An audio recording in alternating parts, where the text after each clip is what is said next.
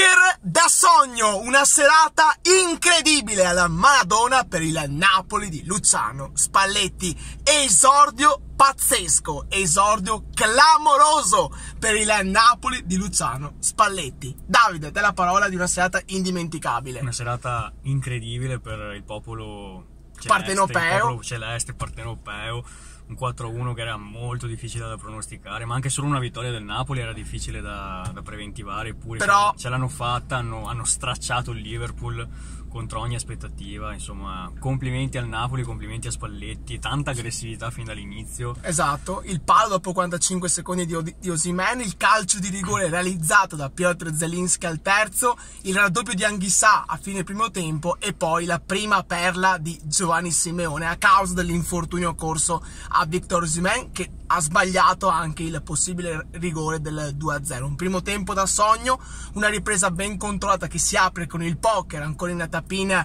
di Piotr Zelinski e poi il gol della bandiera di Luis Diaz.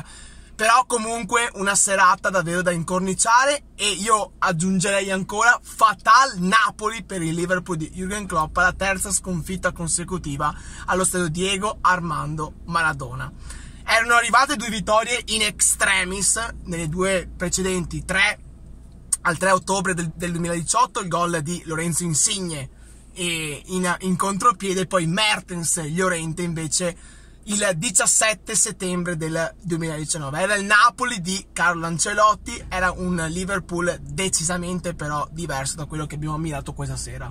Sì, un Liverpool sicuramente un po' più scadente, cioè rimane una, una grande squadra, sicuramente una delle il favorite. Napoli, il Napoli ha fatto una grandissima partita, non è più il, eh, il, Liverpool insomma, delle passate stagioni, però comunque rimane sempre una squadra forte ed è per sì, questo che la squadra Napoli... comunque vice campione d'Europa che però ha iniziato sottotono questa stagione, sia in Premier ta- tanti risultati negativi e già comunque un bottino di punti da recuperare al City, quindi comunque la, la, la corsa al titolo già molto eh, in difficoltà in Premier League e poi questo esordio che non ti aspetti eh, al Maradona negativo, contro negativo al massimo. molto molto negativo. E già la settimana prossima contro l'Ajax in, in quel di Anfield sarà fondamentale perché l'Ajax intanto alle ore 18.45 ha vinto contro il Rangers quindi adesso la, la seconda giornata che vedrà opposto il Napoli in Scozia con il Rangers il Liverpool in casa contro l'Ajax saranno 90 minuti infernali per entrambe le formazioni. Partiamo con l'analisi della partita. Dopo 45 secondi, imbarazzante la prestazione di Joe Gomez, peggiore in campo. Da un suo errore nasce la palla eh, per Victor Osimen che salta Allison e becca il pallo esterno. Già quello era forse un segnale di, di cosa. Esatto, di cosa sarebbe successo da lì al 45esimo. Napoli in vantaggio al terzo con il penalty, come detto in, in precedenza, trasformato da Pietro Zelinski per un tocco di mano di Milner su un tentativo di, eh, dello stesso Zelinski su una bella eh, sovrapposizione di Cavarsceglia fenomenale questa sera il Giorgiano che ha incantato nelle prime giornate di campionato. Forse era la prova del 9 questa sera l'ha superata alla grande.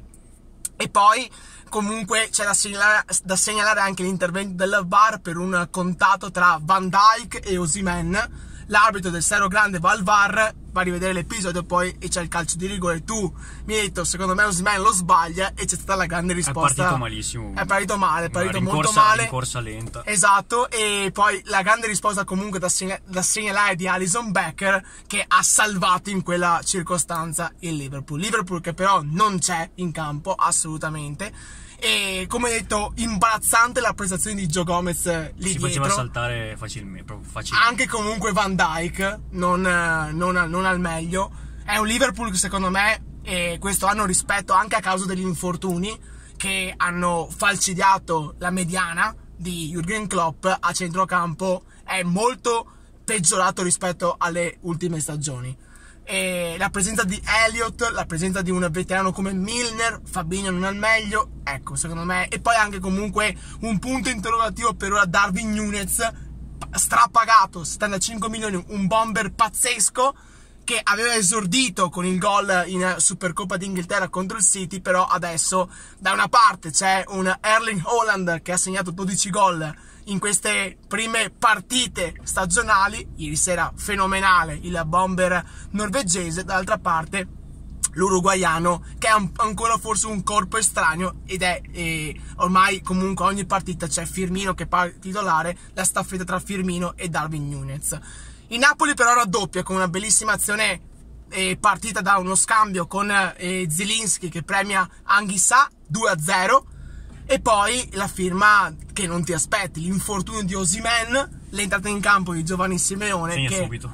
Esatto, segna subito su assist di Kvaratskhelia e scoppia a piangere perché è un'emozione pazzesca. Primo gol col Napoli in Champions League contro il Liverpool. Esordio migliore davvero non ci poteva essere. La ripresa ormai è un, la partita è segnata, il Liverpool non c'è in campo entra Matip al posto dell'inguardabile Joe Gomez, ma il risultato non cambia, arriva il poker di Zilinski in tappina e poi il bel gol comunque da, seg- da segnalare di Luis Diaz che sfiora dopo pochi minuti il gol del possibile 4-2 che Forse poteva, riaprire la partita. poteva riaprire la partita. un po'. Esatto, poteva riaprire il discorso. Che dire, un Napoli incredibile, un Napoli stellare, e chapeau a Luciano Spalletti che in questo inizio di stagione, tranne il pareggio in casa con Lecce, ha fatto davvero un'ottima impressione. Quindi Napoli promosso, Liverpool bocciato. Tra pochi minuti l'analisi invece del successo netto a San Siro della Bayern Monaco contro l'Inter. Grazie Davide, grazie per l'attenzione, lasciate tantissimi like al video,